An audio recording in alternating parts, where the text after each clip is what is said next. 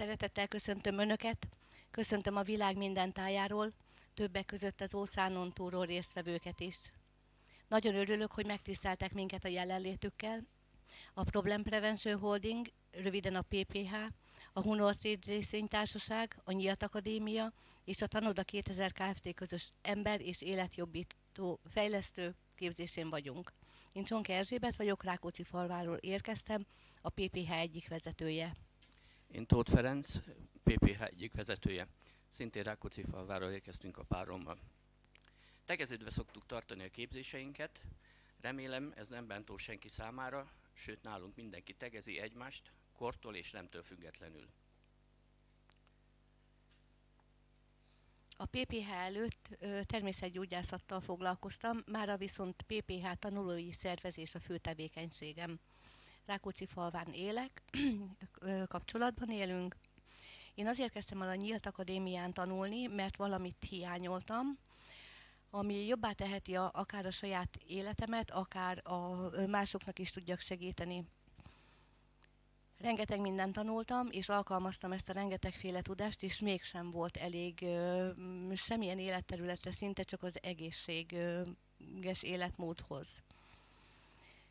Öt évvel ezelőtt rám talált a PPH, amiért nagyon hálás vagyok. Itt tanulhatok Szedlacsik Miklóstól egy olyan komplex rendszert, amivel valóban minden megoldható, minden életterületre, a hétköznapi életben, akár a saját, akár a mások, akár a csapattagok életének segítésében. A Nyílt Akadémia ember és életjobbító kócsképzései által az életem teljesen megváltozott, sokkal-sokkal jobb lett. Nem csak önmagammal tanultam megbánni, a családtagjaimmal is. Enélkül a tudás nélkül nem tudtam volna elérni azt sem, hogy önmagamat reálisan lássam. Éppen mostan a személyiségfejlesztő kócs, mindenkinek ajánlom, erre a tudásra mindenkinek szüksége van amíg önmagunkkal nem tudunk jól bánni, addig sem az életünket, sem másoknak nem tudunk megfelelő segíteni. Hát egy pár szót én is szeretnék szólni magamról. Eredeti foglalkozásom autószerelő, és jelenleg még szivattyúgépészként dolgozom, de a PPH tanulócsapat szervezés helyezem az első helyre, tehát sokkal jobban erőtérbe kerül. Rákóczi falváról érkeztem, családi helyzetem párkapcsolatban, én is a Nyílt Akadémia szerintem ő talált rám, mint én találtam rá. Én is természetgyógyászattal kezdtem, de valahogy mindig éreztem, hogy nekem nem ez a feladatom. Elkezdtem olvasgatni, szétnéztem, felmerültek kérdések, hogy miért vagyok én itt, ki vagyok én egyáltalán. Sok, nagyon sok rengeteg előadást hallgattam és néztem, és régi bölcseletek azt mondják, hogy, hogy tulajdonképpen a hiteles tanítványi láncon keresztül juthatunk el a tudáshoz. És én itt a PPH-nál Szedlacsik Miklós személyében találtam meg ezt a úgymond hiteles mestert. A PPH-ban mm, nagyon sokat fejlődtem, nagyon megváltozott a, a, az életem, sokkal jobban tudok figyelni a mostra, jobban tudom élvezni és szeretni az életet, mint ezelőtt élet minden pillanatát, és ezt te is megtapasztalhatod. Mai képzésünket a legnagyobb tudású és tapasztalatú mesterkócs és boldogság specialista, szervezetünk alapítója és vezetője fogja tartani. Előadunk egy olyan vezető, akinek a tudása, a képességei és a tapasztalatai olyan páratlan kombinációban léteznek, ami egyedülállóvá teszi a bolygónkon. Ha megnézzük, hogy még miben egyedülálló a mi vezetőnk, arra jutunk, hogy a vezetésével négy területen ért el a szervezetünk piacvezető pozíciót, úgy, hogy azokból kettő teljesen ellentétes indítatású tevékenység. Vezetünk az egyetlen személy a Földön, aki az emberek javára akarja ö, felhasználni az a anyagban szerzett tapasztalatát és a szellemiséget is. Ő az, aki a mindennapokban használható tudás terén a legtöbb információ átadására képes ma itt a bolygónkon. Neki van a legrészletesebb információja bolygószinten legkésőbbre 2035-re létrejövő elnyomásmentes aranykorról. Vezetőnk küldetése, az emberek lelki fejlődése és olyan szintre emelése, hogy képesek legyenek szeretetben, békében és boldogságban élni azért, hogy bekerülhessenek az aranykorba.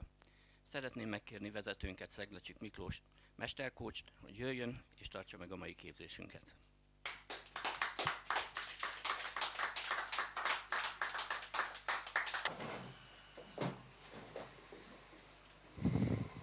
Nagyon sok szeretettel köszöntök mindenkit.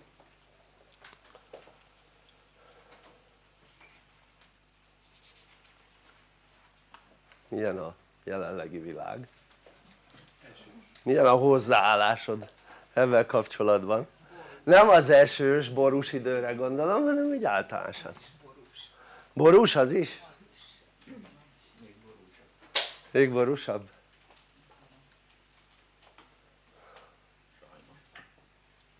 Érdekes világot élünk, nem?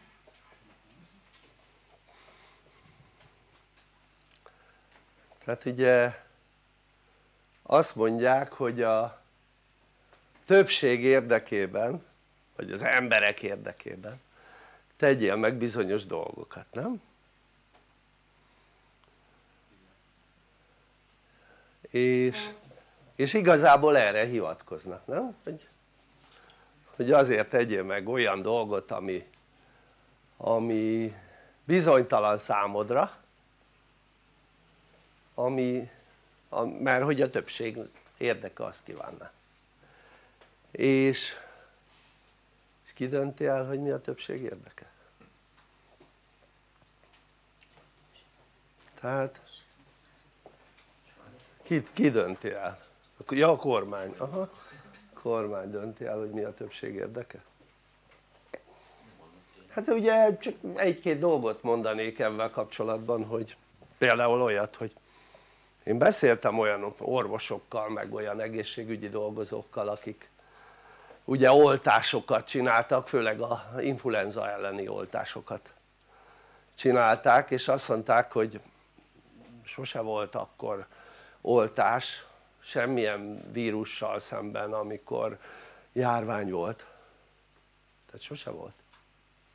Tehát ez egy szabály volt az egészségügyben hogy a, amikor már járvány van akkor nem oltanak. Hát most ez az egészségügyi szabály ez úgy van fölrúgva hogy kell. Hát a legnagyobb oltási kampány az a tavaszi meg az, most az őszi idényben van de főleg az ugye a tavasziban volt. Ura, na mindegy. Ez az egyik dolog, meg másik az hogy az ember eddig eldönthette hogy milyen gyógyszert szed. És nem tudtak beléd erőszakolni gyógyszert, érted? tehát felnőttként nem tudtak rád erőszakolni oltást. Az úgy volt hogyha esetleg olyan országba mentél volna ahova valamilyen oltás van hát akkor nem mentél ha az ne adj Isten kötelező lett volna de hát még azok se voltak kötelezők én úgy tudom. Ha egy országba bementél.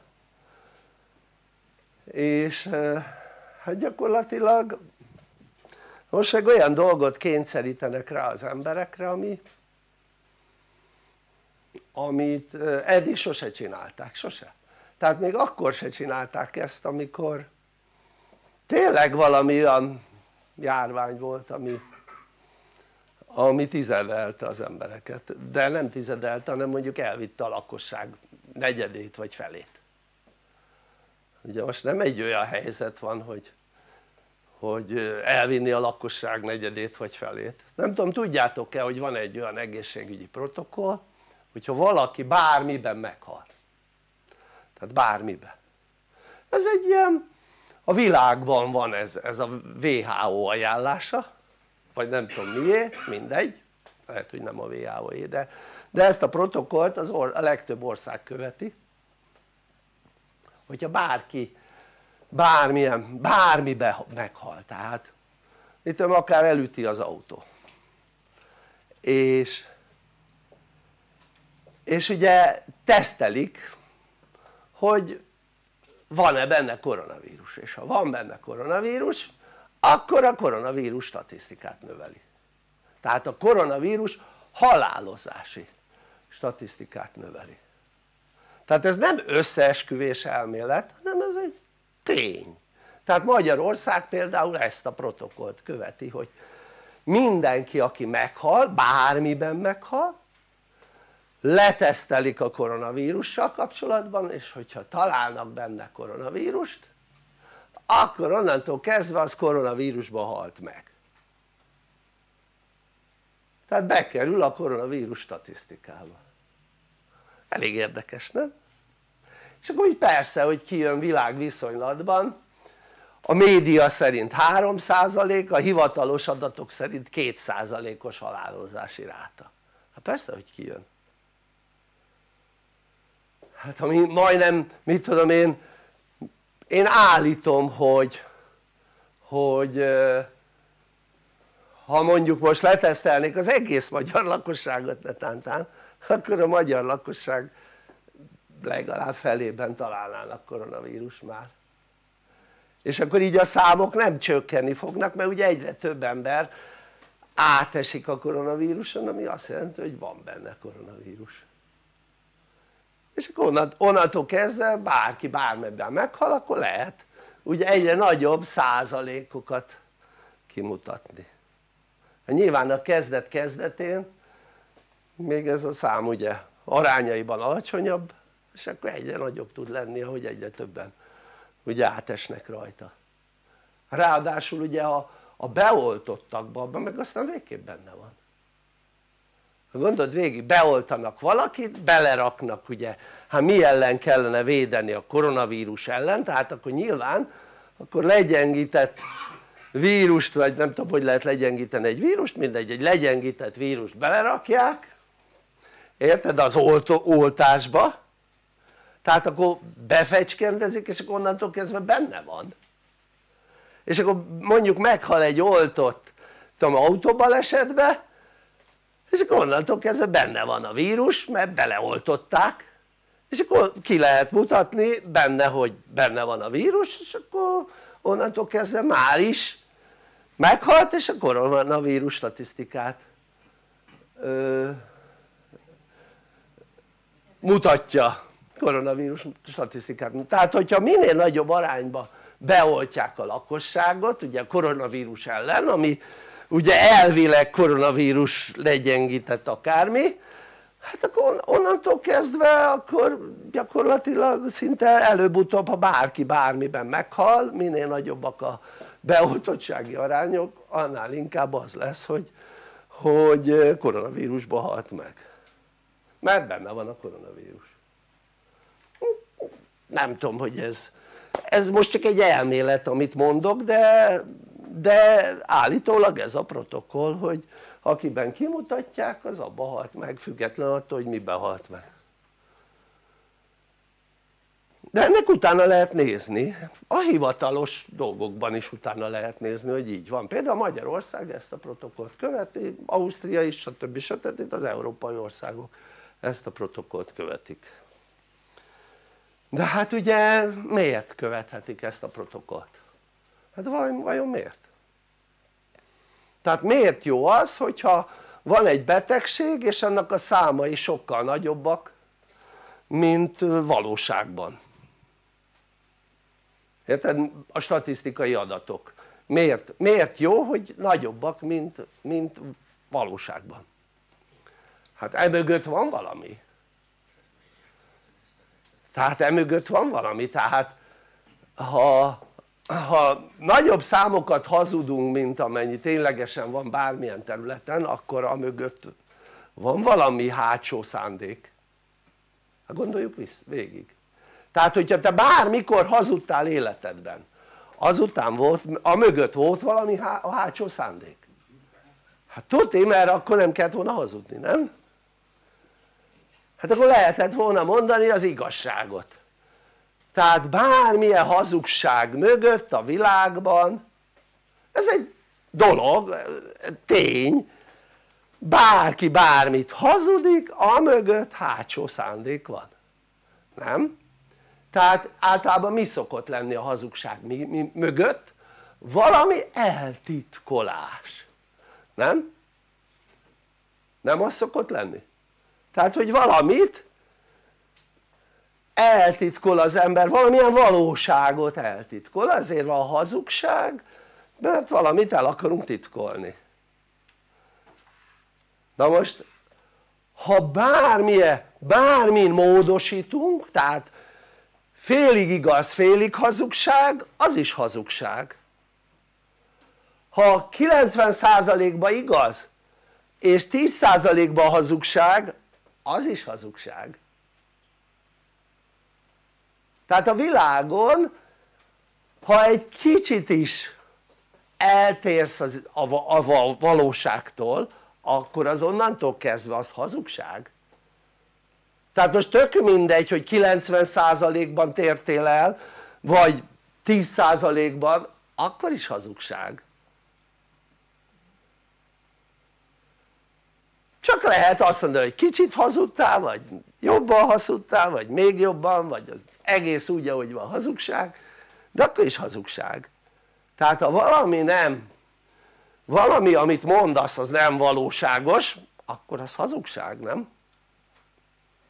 tehát a, ha valakit becsapsz az is hazugság csak szebben van fogalmazva, nem?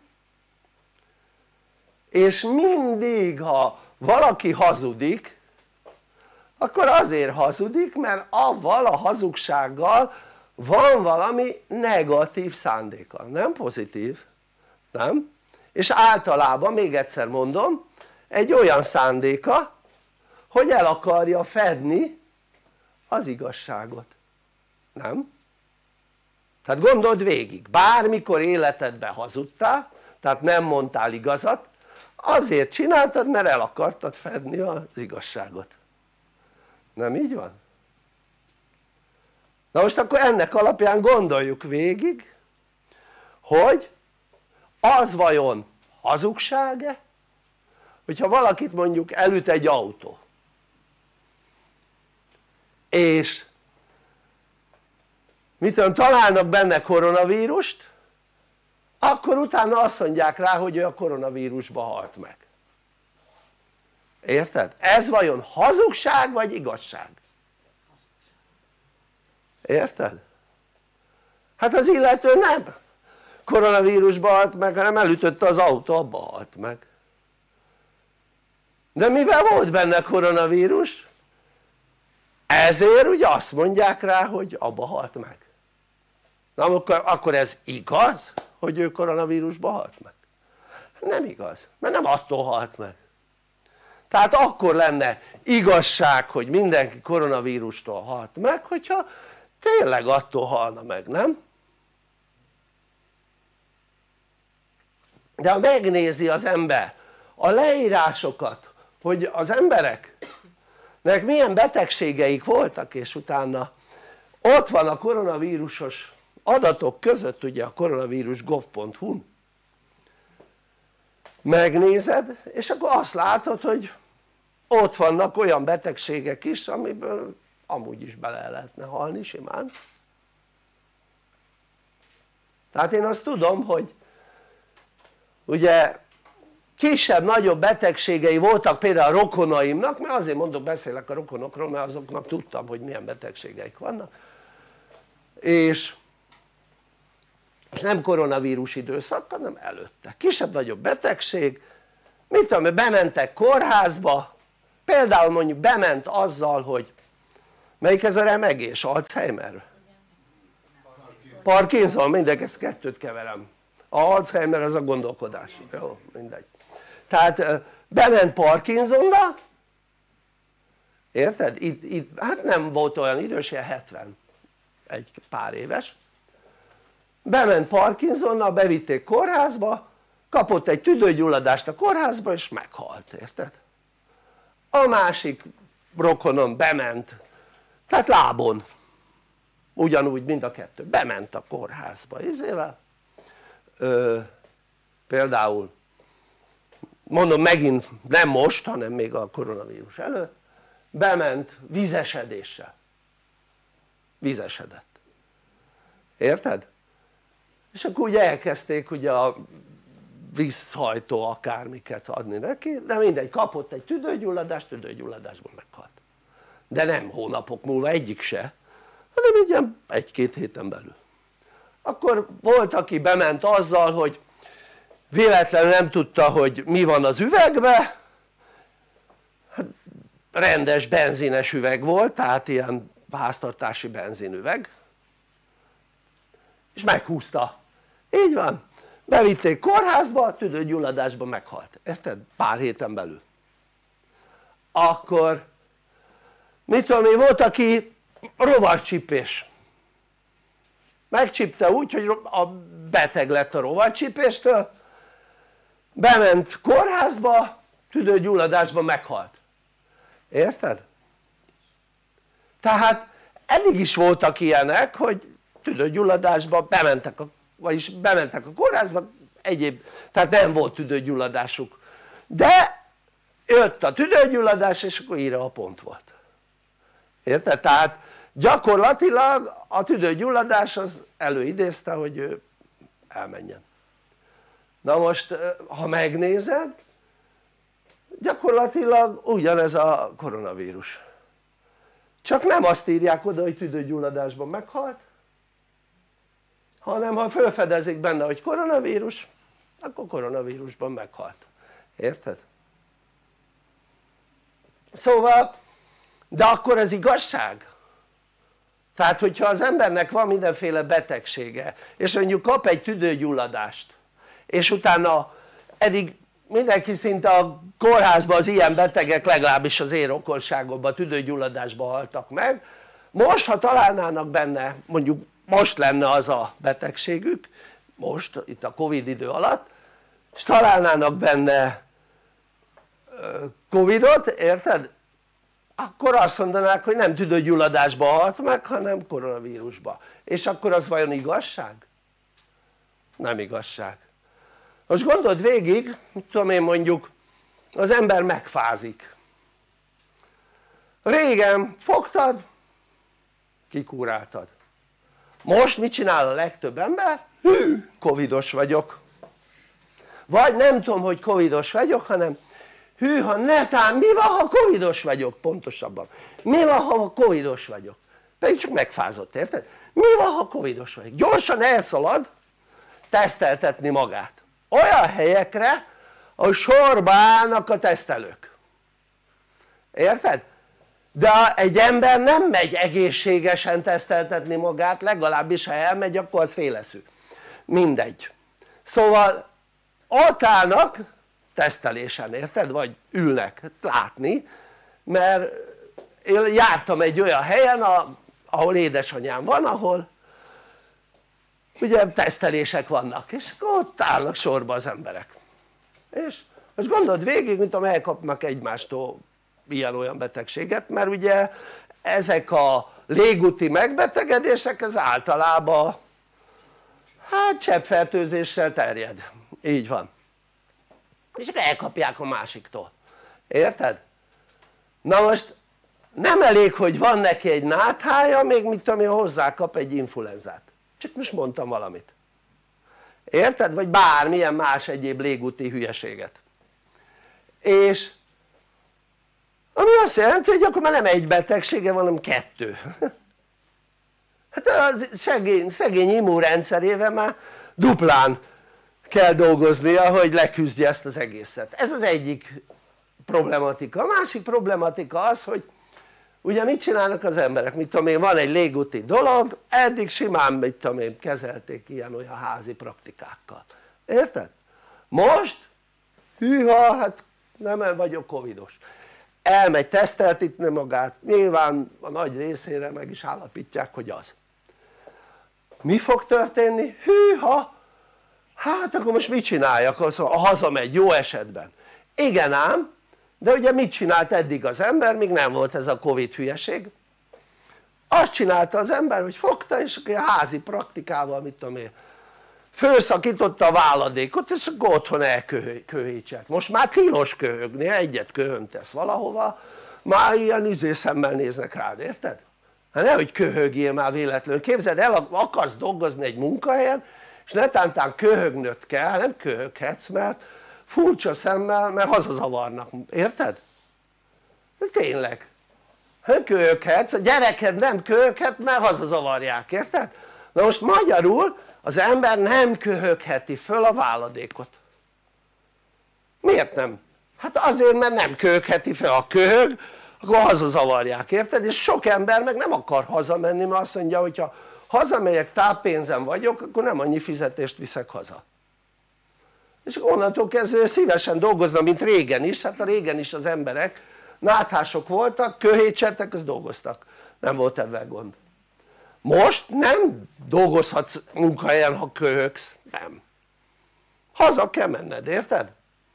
na most aki meg még pánikol is, érted, hogy hűha covidos vagyok akkor eszébe se jut hogy azt föl kéne köhögni a szépen gyűlik a lerakódás azt egyre kevesebb levegőt tud venni az illető és akkor mi lesz belőle?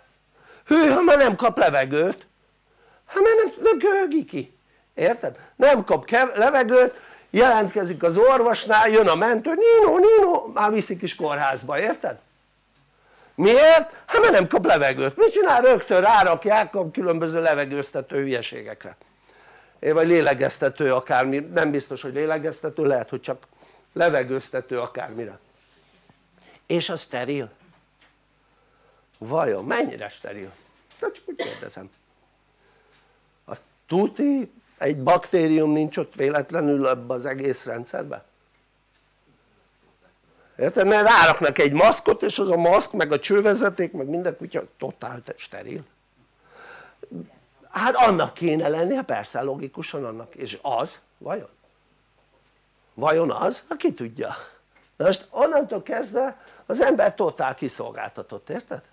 ott eddig az ilyen dolgokat meg simán otthon elrendezte úgyhogy nem kellett kórházba menni mit tudom én nézek adatokat és mit tudom én ausztriai adat Ausztriában ugye meglepetésre ugye februárban be akarják vezetni a izét a kötelező oltást. Februárban képzeljétek el. Megnéztem. Azt írja a média hogy 524 ember van intenzíven. Hát, hát ha mondjuk 524 ember egész Ausztriában képzeld el 524 ember.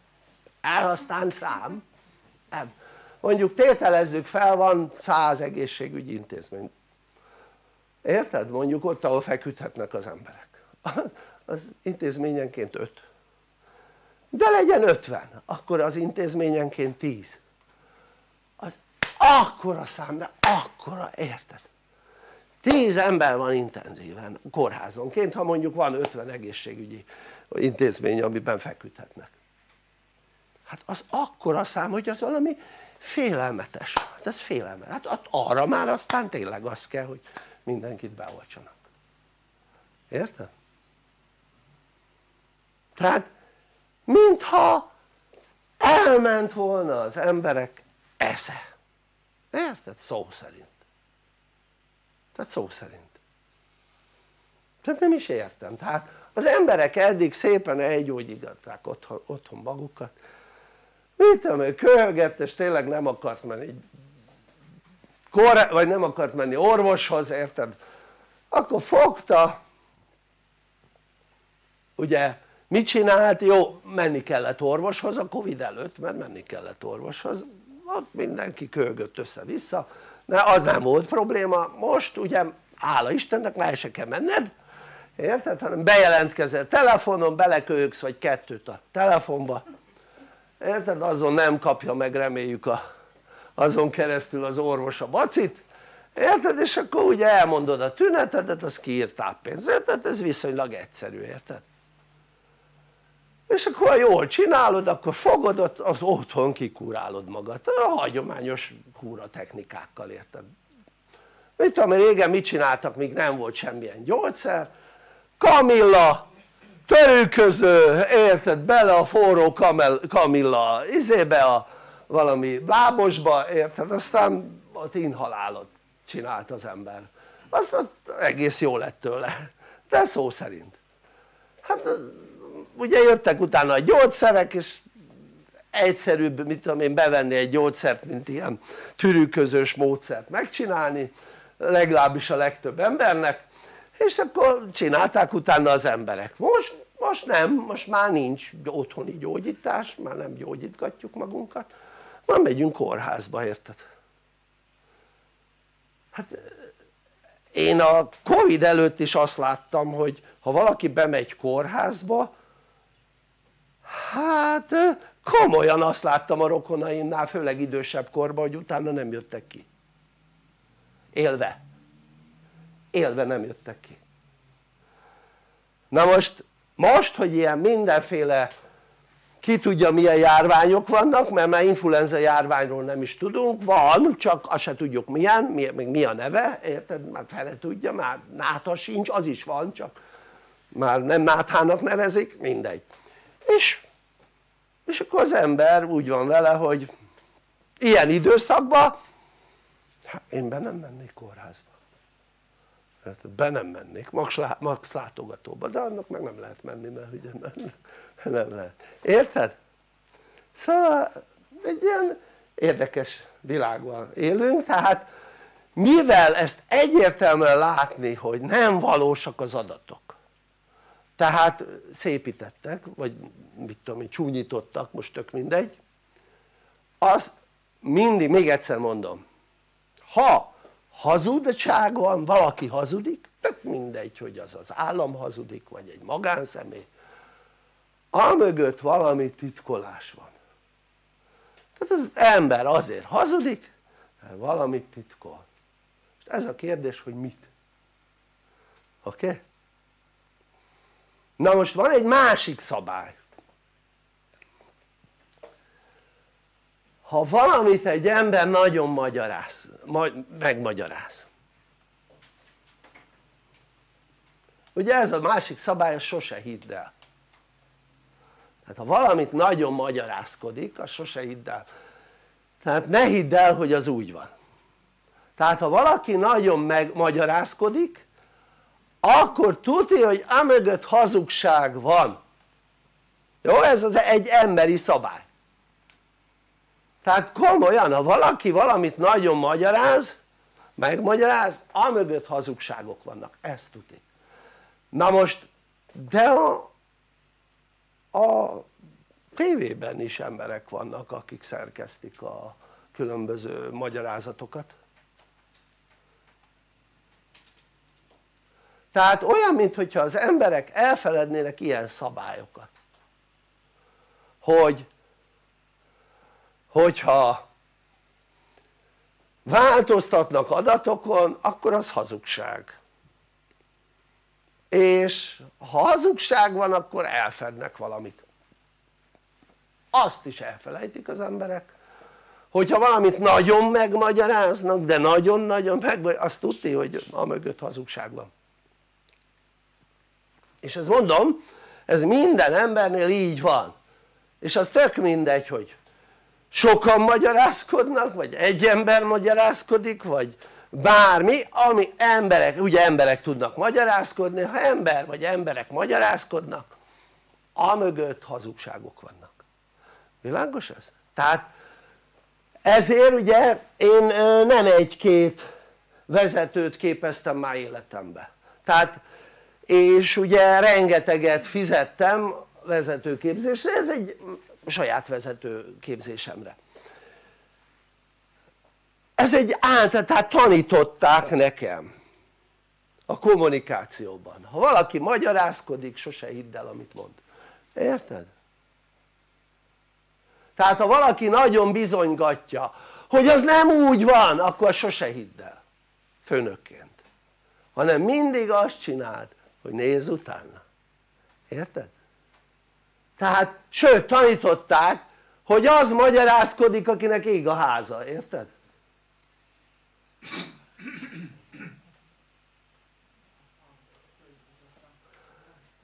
tehát lényeg az hogy a magyarázkodások mögött mindig ott van tehát egy alkalmazott magyarázkodik ugye nekem voltak alkalmazottaim is annak idején sose hidd el, nézz utána, érted?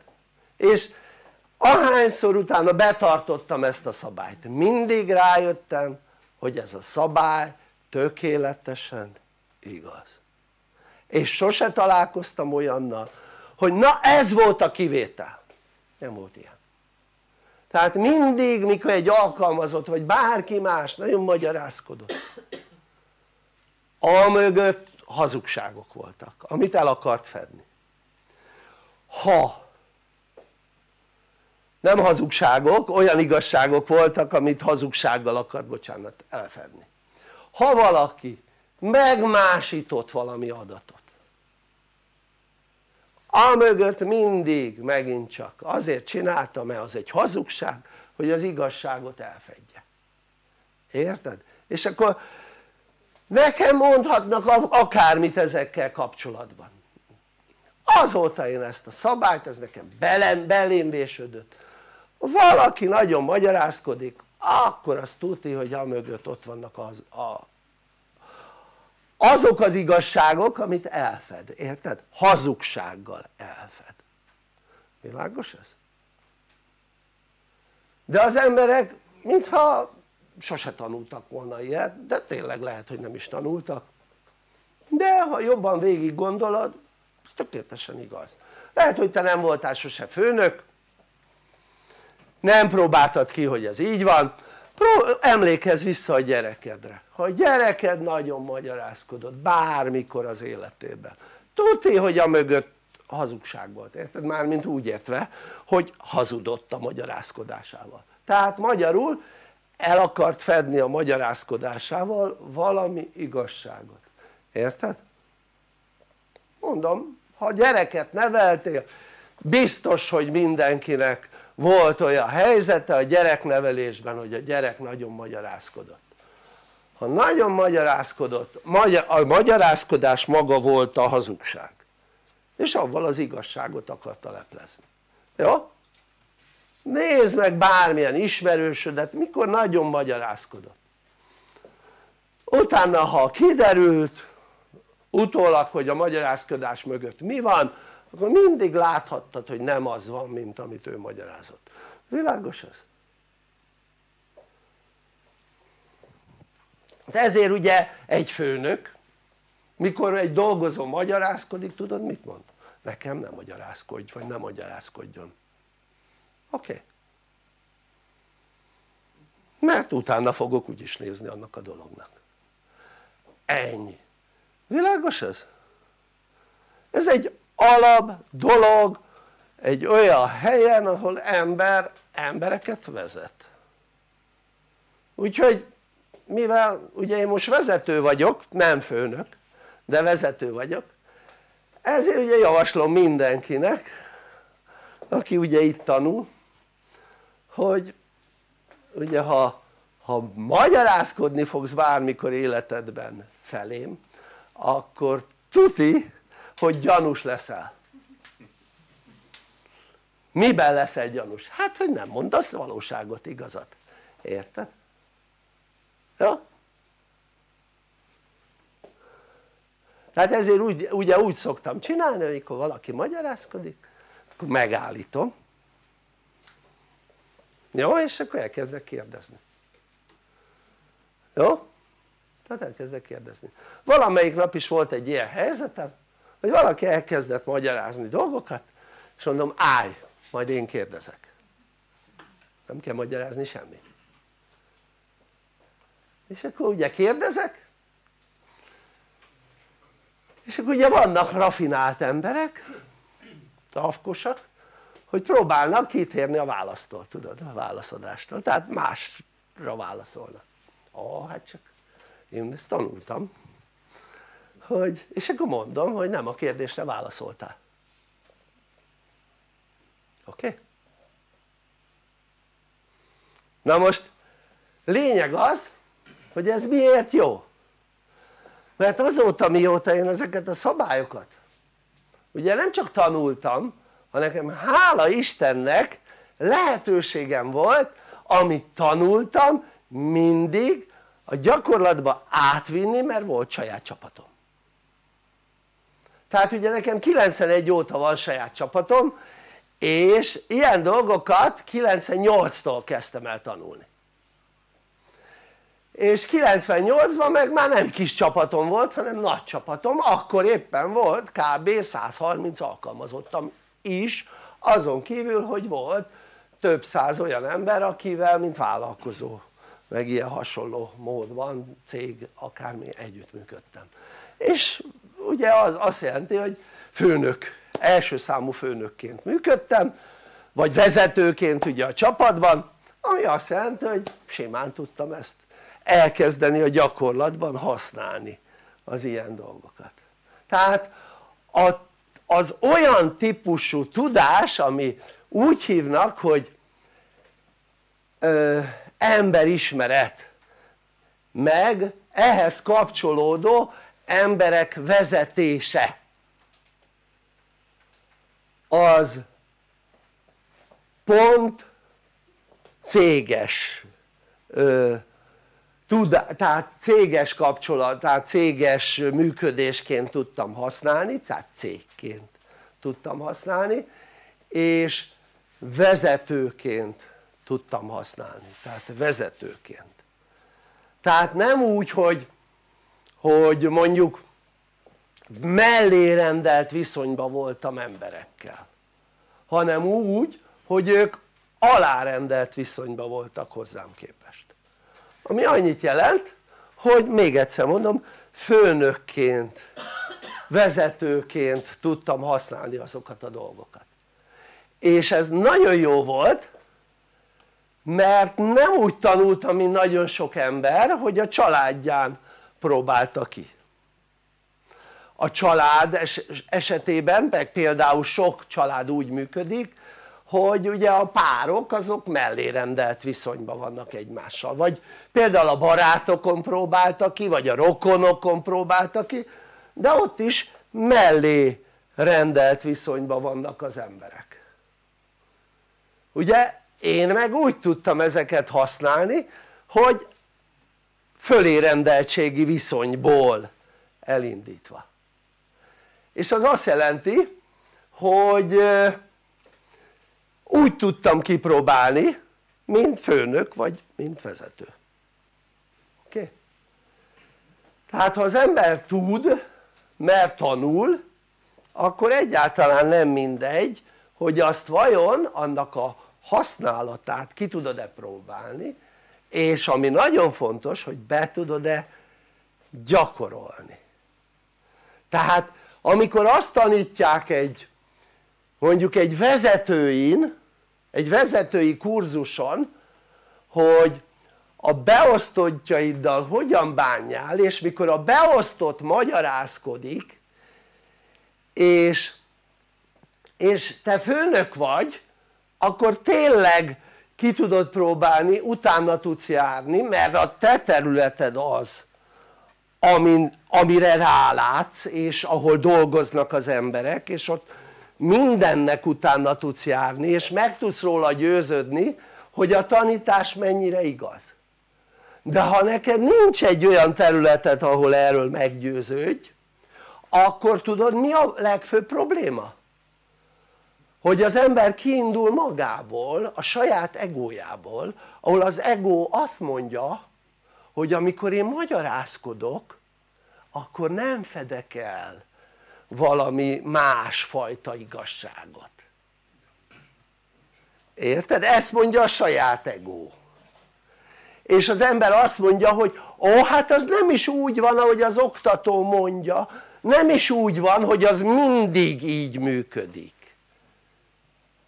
és akkor onnantól kezdve az ember gondold végig tanul valamit és avval szemben amit tanul kételje van hogy az úgy van ténylegesen na most akkor gondold végig ha neked bármivel szemben amit tanultál életedben kételjed volt utána hogy tudtad hasznosítani? sehogy sehogy világos ez? Sehogy nem tudtad hasznosítani tehát az ember csak akkor áll neki valamilyen tudásnak a hasznosításának hogyha avval szemben semmilyen kételje nincsen világos ez? ha egy kicsi kételjed is van avval kapcsolatban hogy az úgy van nem fogsz neki állni alkalmazni oké? Okay? és az a baj hogy minden embernek már van egója. Eddig életemben kettő olyan emberrel találkoztam akinek nagyon minimális egója volt. Pedig elhihetitek hogy több sok ezer, sok-sok ezer. Tehát majdnem azt tudom mondani hogy tízezrekkel találkoztam személyesen.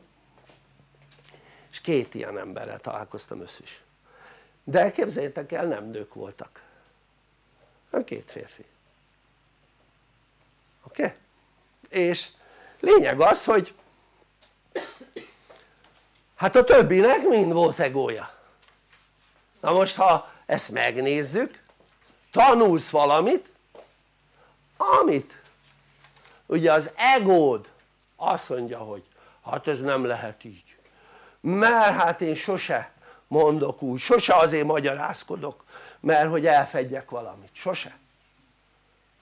Pedig mindig ezért magyarázkodsz. Világos ez? és mit fed el az ember olyankor? nagyon egyszerű, szabály. Az ártó tettedet. Világos ez?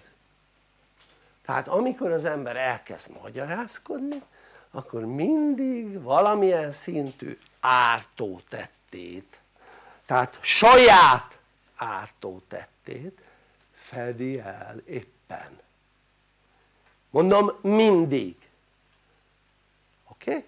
és akkor most képzeld el ilyet tanulsz itt és az egód meg azt mondja hogy ezt neked Miklós már nem is így van oké? Okay? na most akkor hogy fogja az illető ezt használni életében? Soha sehogy. Soha sehogy.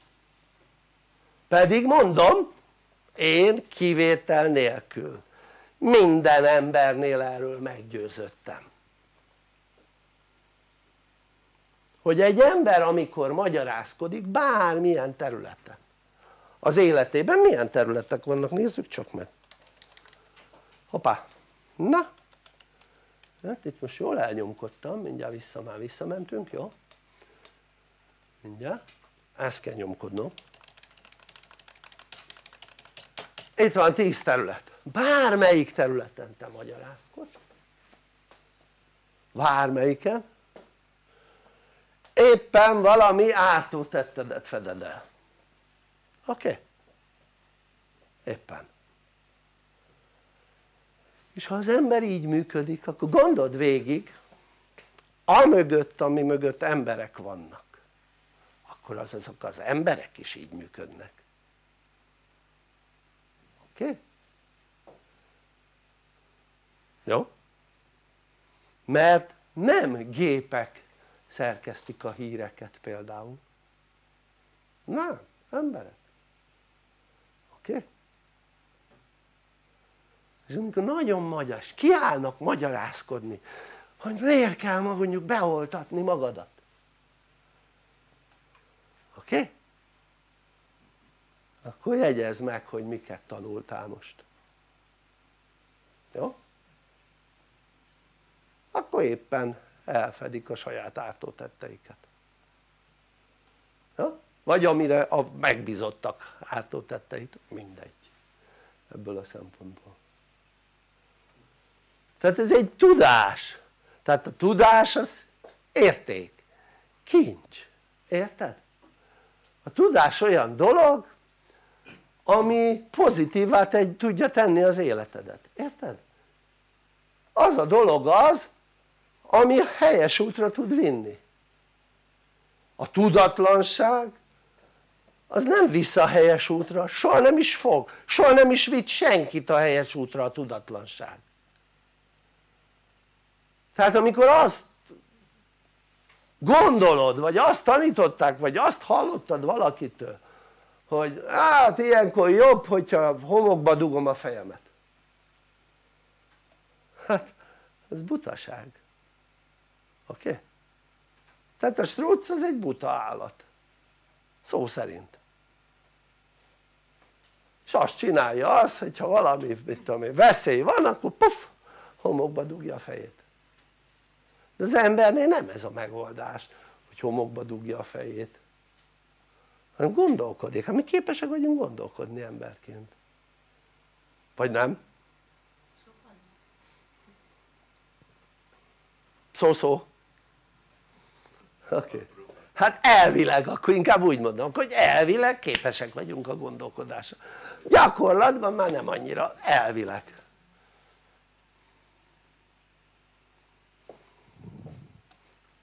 ugye tudjátok azt hogy sokan vannak úgy időskorban hogy ugye időskorban nem tudom mennyire figyelted meg már nem mondhatom azt hogy a fiatal generációhoz tartozok ezért ugye a környezetemben lévő emberek hát idősödnek. És ugye vannak nálam jóval idősebbek is akiket ugye mivel engem érdekel az ember is az élet működése hát ezért régóta figyelek meg idősödő embereket és azt figyelem meg hogy ahogy az emberek nem használják a gondolkodásukat akkor létrejönnek ilyen betegségek, érted? Ami, ami igazából nem betegség hanem tünet például olyan hogy nem használja az agyát és akkor létrejön olyan hogy Alzheimer meg Parkinson, mert az is hozzátartozik egyébként, a Parkinson is ehhez a kérdéshez, mert az is agyi eredetű és ilyen agylágyulás például érted? demencia stb. stb. tehát egy csomó olyan dolog ami, amit figyelj meg az időseknél és figyelj meg azok, figyeld meg azokat az időseket akik használják az agyukat, azoknál nincs ilyen probléma. Lehet hogy van fizikai, mit tudom én nehezen megy de a gondolkodásával az ég adta világon semmi probléma nincs. Érted? tehát ha megnézed most mintha egy olyan világba élnénk ahol ez már elkezdett jellemző lenni a fiatalabbakra is. Tehát agyalágyult akarsz lenni? Vagy alzheimeres vagy demenciás akarsz lenni? Tehát nem az az agy használata hogy nézed a tévét vagy nézed a telefonodat azt nyomkodod, érted? Hanem az hogy kombinálsz, gondolkodsz, érted? az azt jelenti hogy használod a, az agytekervényeidet tehát működteted az agyadat tehát elkezdesz mondjuk logikusan gondolkodni mit jelent a logikus gondolkodás? az azt jelenti hogy van egy kiindulási pont és van egy elérhető eredmény és a kiindulási pontnál elindulsz, gondolkodsz, eljutsz egy pontig majd utána tovább gondolod a dolgokat megint tovább jutsz egy pontig megint, megint, megint, megint lépésről lépésre végig gondolod a dolgokat lépésről lépésre és elérsz egy kívánt eredményhez, érted? de az a kívánt eredmény soha nem születne meg ha logikusan nem gondolnád végig. Na most ha megnézitek a tanításaimat nem ezek a tanítások hanem azok amik a kócsképzésben vannak, ezek csak információk. Ha megnézitek a tanításaimat akik itt tanulnak akkor egy dolgot mondjál olyat amiben nincs logika. Egy olyan képzésemet mondj tehát most körülbelül 5 évesek a képzéseim. Egy év alatt azt mondja hogy 30x12 az 360 órát képzek. Azt mondja az 5 év alatt az 1800 óra. 1800 óra alatt mondjatok egy olyan témát amiben nincs logika. És logikusan nem jutsz el arra az eredményre. Nincs ilyen. Nincs ilyen. Tehát egyetlen egy olyan dolgokat, dolgot nem tanítok amiben nincs benne a logika, érted? ahova nem tudsz oda eljutni arra az eredményre amit én tanítok érted? ezt csak azért mondom hogy keressetek még olyan képzést a bolygón ahol az előadó vagy a tanító ezt csinálja tehát én figyelek a tanításaimban mindig arra hogy azt ha te logikusan elindulsz és végig gondolod ugyanoda juss amit én tanítok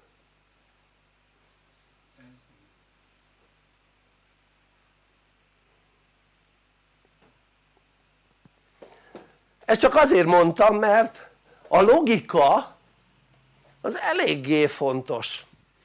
Ugye nem csak a földi ember számára hanem a világegyetemben lévő dolgok számára. És, és ha bármit nem tudsz logikai alapon végigvezetni akkor ott valami gubanc van oké? Ott valami gubanc van tehát olyan nincs hogy a semmiből lesz valami olyan nincs, olyan nem létezik, érted? tehát ha valami nem logikus nem lehet logikusan végigvezetni akkor az hazugság, érted? ez is egy szabály tehát odáig vissza tudom logikusan vinni az egészet odáig hogy volt a teremtő és most mi vagyunk itt emberek, érted? és a kettő között úgy indult hogy a teremtőn kívül más lény és anyag nem létezett a világegyetemben érted? és onnan végig tudom hozni neked logikusan odáig amit úgy hívunk hogy ma érted? na én még nem találkoztam olyan tanítóval amelyik ezt itt a földön amelyik ezt meg tudja csinálni oké? Okay? igaz hogy én nem földi eredetű vagyok az már más kérdés, érted? csak a testem de ez már más kérdés a testem az persze hogy földi eredetű, hát ez ugyanúgy mint ugye nektek is. Szóval a lényeg az hogy hogy mit csinálunk? nézzük meg gyorsan. Tehát azon kívül hogy itt van ez a terület majd mindjárt visszatérek rá. Képzéseink vannak. Én azért születtem hogy ez a világ jobb legyen. Te is ezért születtél hogy tegyél azért hogy a világ jobb legyen mert magától nem teszünk érte hogy a világ jobb legyen. Nézd meg mivé válik a világ. Márpedig most ez amiben vagyunk annak a következménye hogy a jó emberek így karba tett kézzel várták hogy hát ha jobb lesz. Érted? ezt csinálták ezen kívül hogy várták hogy majd jobb legyen semmi nem történt. Na most ez úgy működik ahol a jó emberek nem tesznek semmit ott a rossz eluralkodik a földön. Érthető ez? és nem uralkodik a rossz el a földön? Ha valaki azt mondja hogy nem uralkodik el a rossz a földön éppen jelenleg akkor az megint csak hazudik neked, érted? hazudik tehát gyönyörűen látni nem mostantól, nem ettől a két évtől hanem már hát gyakorlatilag mondhatjuk azt hogy a múlt század elejétől. Látni hogy a, a rossz az fokozatosan teszi a dolgát. Aminek volt része két világháború. Érted? amiben volt hidegháborútól kezdve mindenféle ahol folyamatosan a múlt század eleje óta a lakosságot félemben tartják valamilyen szinten nézd meg mindenütt félelembe tartják oké? Okay? biztos voltak kivételek de hogy a bolygó nagy részében ez történt hogy a múlt század eleje óta folyamatosan félelembe tartják az embereket tehát most már több mint száz éve erről meggyőződhetsz és akkor ahogy ennek a félelembe tartásnak milyen eszközét választják az eléggé választékos például az volt hogy háború az elég félelem nem? a háborúk akkor éhínség az is elég félelem nem? akkor hidegháború az is elég félelmetes és akkor voltak ebben ilyen egy-két egy évek amikor ez nem így volt. Egy-két év. Ilyen egy-két éves átmenetek. És akkor kül, ha nem az egyik volt az ellenség akkor a másik ország. Hanem a mit tudom én az oroszok akkor a kínaiak, hanem a kínaiak akkor a koreaiak, hanem a koreaiak akkor az arabok. Mindig van valami ellenség, érted? hogy az emberek féljenek tehát gyakorlatilag én visszaemlékszem erre a 60 évre, jó nem tudok 60 évre visszaemlékezni mondjuk 56-ra vagy 54-re simán visszaemlékszem. És azt látom hogy mindig volt valami félelembetartás. Amikor szocializmus volt, kádári szocializmus, akkor is. Oké, okay, akkor nem az oroszoktól féltünk hanem az amerikaiaktól, nem? gondoljuk végig akkor rendszerváltás után már az oroszoktól kellett félni akkor itt mindig van most éppen a koronavírustól kell félni éppen már mit tudom én mit tudom én milyen variástól lehet félni nem? már valami olyan nevet is mondtak hogy Omikron. Omikron, igen, Omikron variáns, érted? Omikron variáns, jó betűvel kezdődött, arra emlékszem Omikron variáns, tehát itt van, van itt már minden. Érted? az elmúlt száz év erről szól. És ha megnézzük valahogy azért túléltünk, nem? nem volt kellemes a szüleinknek vagy nagyszüleinknek főleg érted a én esetemben a nagyszülőknek. A világháborúk nem voltak kellemesek tudod? Az még rosszabb volt mint a mostani helyzet de végignézzük ezt az egészet érted miért, miért így kell élni? miért? a jó emberek mindig politikusoktól várták az elmúlt száz évben a megoldásokat érted? előtte a vallásoktól várták a megoldásokat a vallásoktól már évezredek óta várják a megoldásukat megoldották? nem a politikusok már több száz éve vannak megoldották? de hogy oldották meg vagy ezt látod hogy megold, mi volt még? hát más, ez a kettő volt nem? politikusok meg vallások várták az emberek a megoldást innen onnan amonnan de nem oldódott meg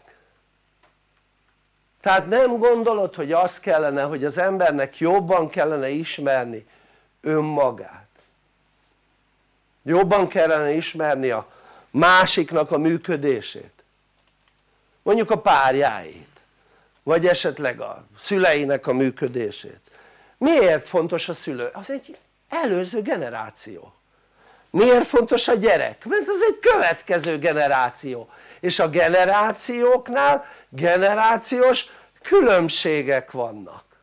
Ezért probléma ha generációs különbségű párkapcsolatokkal találkozok ott ahol generációs különbség van a férj vagy a feleség között, érted? mindegy hogy melyik javára. És ugyanígy generációs különbség van közted és a szüleid közt és generációs különbség van közted és a gyerekeid között. Ami a generációs különbség azt jelenti hogy másként láttok dolgokat. Más nézőpontotok van ugyanarra a dologra nézve, érted? és az ember nem ismeri azt hogy hogyan kell ezeket a generációs különbségeket áthidalni akkor ne csodálkozzon hogy mindenféle problémája lesz az, e, a más generációkkal oké? Okay?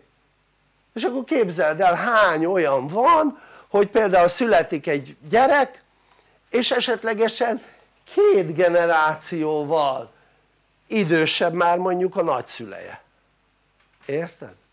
két generációval egy generáció az 25 év jó? ezt jegyezzétek meg de van még egy furcsasága generációknál hogy van egy generáció váltás és az azt jelenti hogy a generáció váltás az, az például volt 17-ben volt 42-ben és 6 vagy 43-ban és 68-ban, érted? tehát 25 év, de az azt jelenti hogy 1967-68 között generációváltás majd 42-43-ban generációváltás majd 17-18-ban volt előtte generációváltás és, és ugye volt generációváltás 92-93-ra fordulóban és ugye azóta megint lett egy generációváltás ha kiszámoljátok. Mennyiben? 18-ban vagy mikor? Igen 18, 17-18-ra tehát ez és még ezt is nem, elég hogy van 25 év legalább két ember között hanem még ez is probléma hogyha például mondjuk az egyik illető 65-ös a másik illető meg mondjuk 72-es pedig csak 7 év van köztük de mégis mivel volt közben egy generációváltás már kommunikációs problémát okoz a nézetkülönbség világos ez? mit se tudnak ezekről az emberek nem is tanítják sehol soha nem is hallottam ilyen dolgokról érted? Soha senkitől.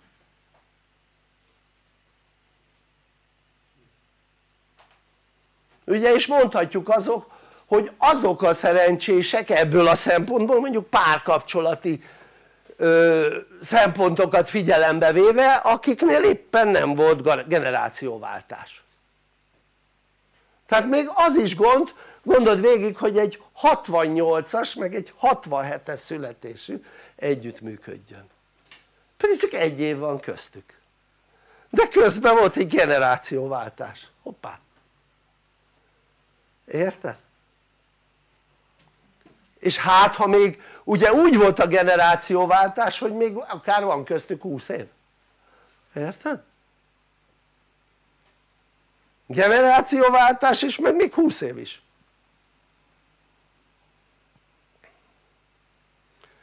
mert ugye egy generáción belül a 25 éven belül jobban kijön az ember még akkor is ha esetleg több év van köztük. Érdekes módon.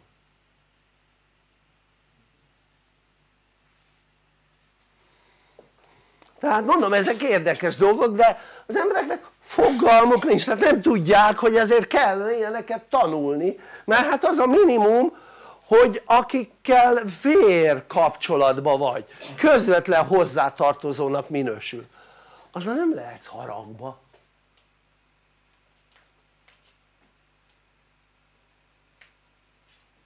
mert az olyan mértékben elvonja a figyelmedet hogy a jelenre nem tudsz odafigyelni és okozod folyamatosan a problémát.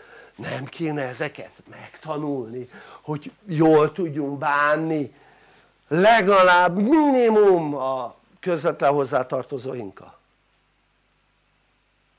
persze az se baj ha mondjuk általános az emberekkel jól tud valaki bánni.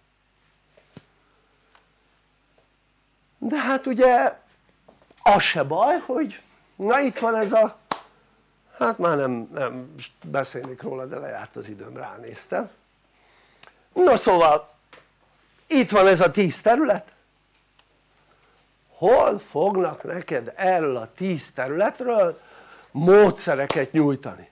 Rajtunk kívül. Hm? módszereket. Tehát nem azt hogy megmondják hogy hú hát ezt nagyon rosszul csinálod és így kellene csinálnod. Mert ezt rengeteg helyen tanítják. Elmész bármilyen képzésre és elmondják hogy milyen hülye vagy. De tényleg és ne olyan hülye legyél hanem ilyen jó azt is elmondják. Mert ilyen jónak kell lenned. Én már bemutatom hogy milyen jó vagyok mondja az előadó.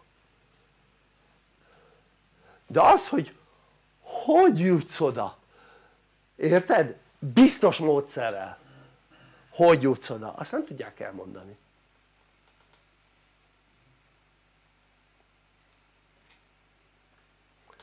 tehát elmondja az előadó, mondok egy példát, jó? hogy ő ült sitten drogozott érted?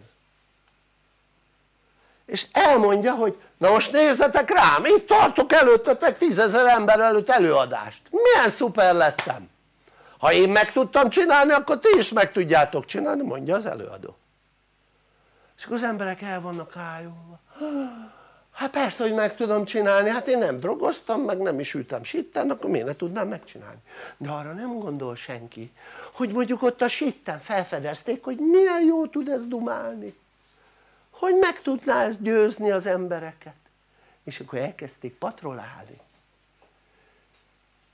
oké? Okay? és elkezdték nyomni bele a tőkét a haszon reményébe világos ez? Ezt ugye nem mondja el. Még véletlenül se.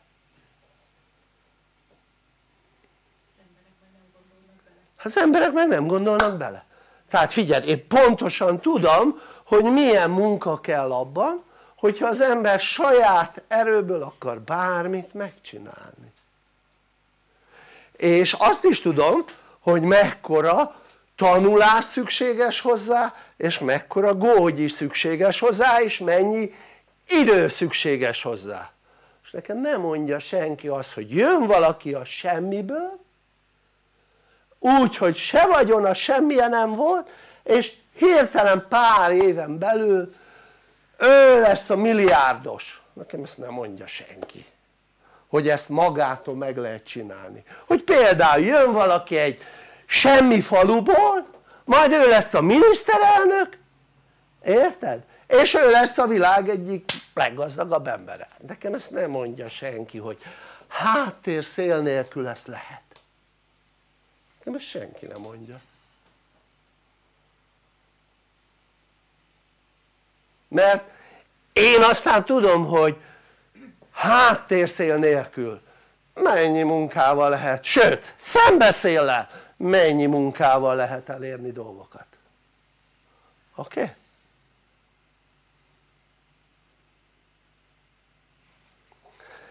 köszönöm szépen a figyelmeteket gyere tanulni, szeretünk benneteket, átadom a szót a házigazdáinknak, sziasztok!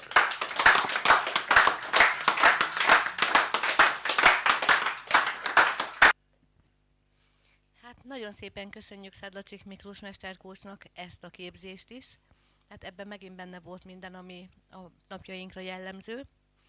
Én az életem egyik legjobb döntésének könyvelem el, hogy elkezdtem és azóta is folytatom itt a, a tanulást. Én megtapasztaltam azt, amiről most Szedlacsik Miklós beszélt, hogy nem, hogy nem hagy ki részleteket, rengeteg módszert ad át, olyan dolgokat tanít, amit tényleg önmagunktól is tudunk alkalmazni, tudjuk az életünket rendbe tenni, de ha elakadunk, akkor itt van az ő személyes segítsége, teljesen díjmentesen a tanulóknak. Én mindig azt tapasztaltam, hogy bármit, amit ő mond, és az egóm ö, szembefordult volna ezzel, hogy hát az mégse úgy van, meg nem értek mindennel egyet, meg elkezdte megmagyarázni, és nem kellett hozzá sok időbe, bizonyosodott, hogy bizony Szedlacsik Miklós, amit mond, betűről betűre igaz. Én még amit tanácsot kaptam tőle, az mindig segített az én életemben, és mivel nekem azért van egy, egy csapatom, ezt a tudást én is tovább tudom adni a csapatnak, ha elakadok, még nem tudok annyit, mert még rengeteg minden van, amit meg kell tanuljak, akkor Szedlacsik Miklóshoz tudunk fordulni. Mindenkinek azt tudom javasolni, ha már valamilyen formában találkoztál a PPH-val, az biztos, hogy egy jel, és nem szabad halogatni. A halogatásról is nemrég tanultunk, mert hogy a jelek azért jönnek, mert nincsenek véletlenek. Mi már megtapasztaltuk. Szedlacsik Miklósnak különleges képességei vannak, hiteles forrásból, a teremtőtől kapja az információt. Azért van itt a Földön, hogy nekünk segítsen, és rengeteg embernek közösen tudjunk segíteni. És ne gondolkodjatok, gyertek! Hát én is nagyon szépen köszönöm Miklósnak ezt a színvonalas előadást. Nagyjából el is mondtál mindent. Én is csak annyit tudok mondani, hogy gondolkozz és lépjé.